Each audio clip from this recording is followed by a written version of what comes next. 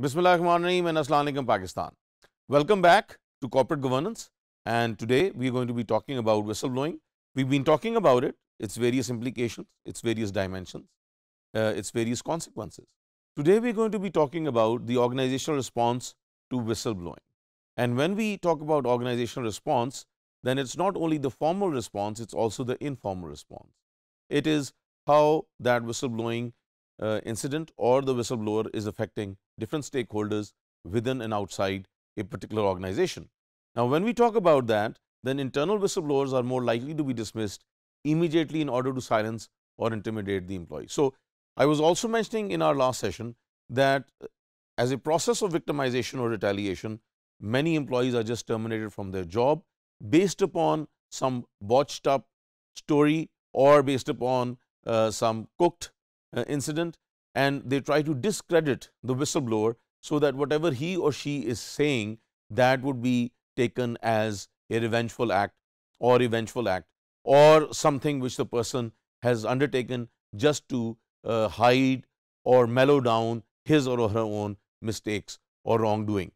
Internal reporting is viewed as a challenge to the authority structure in the organization. So, usually what we see in any organization is, is that whenever there is some internal reporting, there is some peer reporting or there is whistleblowing that is considered as a challenge to the authority structure in the organization and the whole organization gets together to uh, undermine and stop the whistleblower and that becomes a very very grave situation and one must be very careful of that. And now when you look at the external whistleblowers they receive worse retaliation than the internal whistleblowers because they are outside the organization and maybe discrediting them for the organization is easier. Most of the whistleblowers experience some form of retaliation and this is not without consequence for the whistleblower and the organization. So, just like I was mentioning that uh, there are consequences and these consequences are usually adverse for the whistleblower, for the organization and also for the different stakeholders. And that is why many a times uh, whistleblowing is not appreciated within an organization be it internal or external.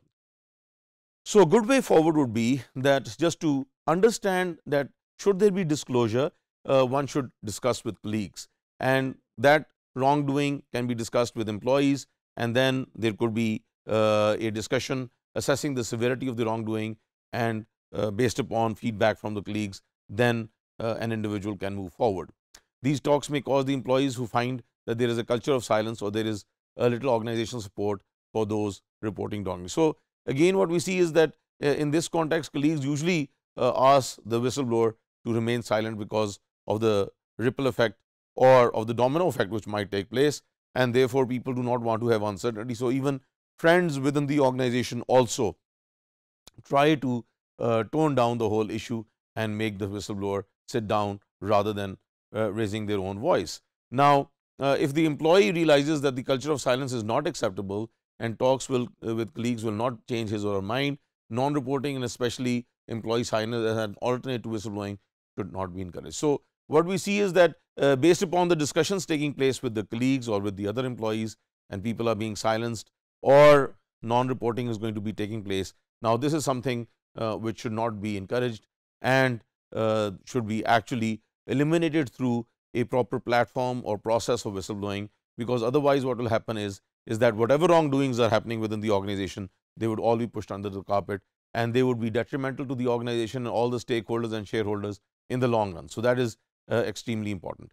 Uh, an individual executes a series of actions intended to make public information about an alleged act of wrongdoing. The information becomes a matter of public record. So, again uh, eventually all of it becomes a public record and what we see is, is that uh, even though the person has tried to take support from within the organization, but yet uh, the different stakeholders, the different employees, uh, their professional friends, they all try to pacify the whistleblower and one way or the other they do not want the organization uh, to be uh, enveloped in a whistleblowing uh, episode because uh, it's, it's, very important that uh, such organizations can be dangerous uh, and sometimes can be illegal or unethical activities in the organization. So, all of this is taking place together one way or the other the damage would be done. The individual who makes the information public is not a journalist or an ordinary citizen, but a member or a former member of the organization. So, usually that person is associated with the organization one way or the other and the consequences can be very detrimental and very damaging for uh, all of the players, be it the whistleblower or be it the organization or the people involved in the whistleblowing incident. Thank you so much.